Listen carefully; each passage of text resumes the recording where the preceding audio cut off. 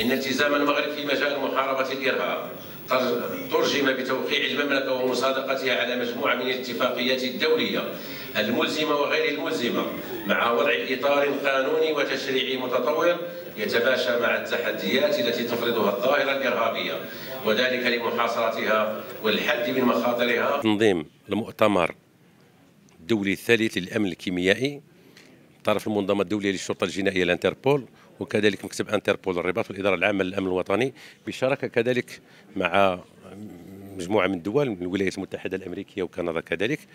حاضر 350 آه، خبير على مستوى هذا المؤتمر اللي غادي يكون من 25 حتى 28 من الشهر الحالي.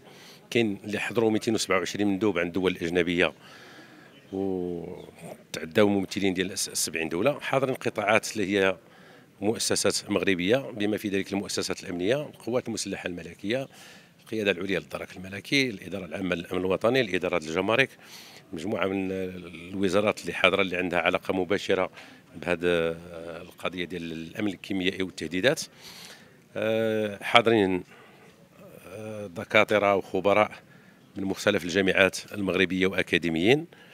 باش يكون تبادل ديال الآراء بين أجهزة إنفاذ القانون الخبراء الوطنيين والإقليميين والدوليين في هذا المجال وعلى التهديدات كما تعلمون أن هذه الجماعات الإرهابية والجماعات المتطرفة ولا الذئاب المنفردة تسعى إلى الحصول على هذه المواد الكيميائية والبيولوجية لتنفيذ مخططاتها الإجرامية واستهداف واستهداف مجموعة من المواقع الحساسه وبالنسبة للتجربة ديال المغرب منذ 2000 و وثلاثة إلى الآن وضع واحد استراتيجية وطنية لمحاربة الإرهاب وشمل جميع الميادين وراه باش ما ندخلوش في التفاصيل عنده واحد الدور رائد في هذا المجال على المستوى الإقليمي وعلى المستوى الدولي.